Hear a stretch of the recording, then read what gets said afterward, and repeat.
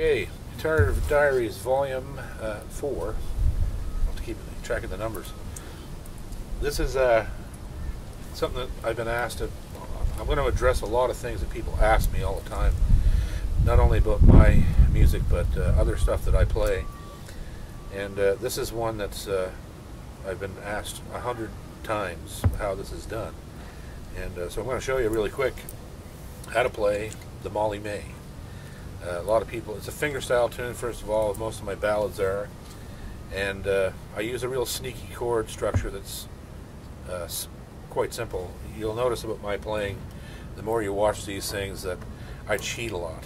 And, uh, and I do things the easiest way possible and take advantage of open strings for jumping and lateral movement around the neck.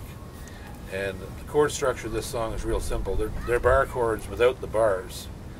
So it starts in an E minor, which looks like this.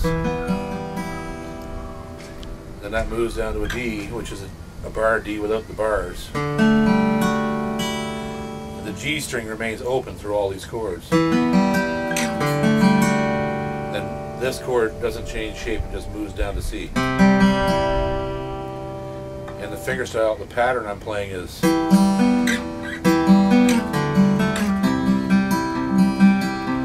just the basic Gordon Lightfoot fingerstyle pattern.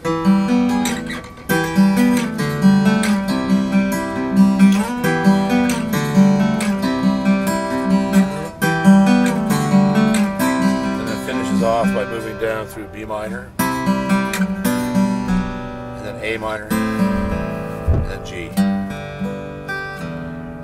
Simple as pie. I'll do it again slowly.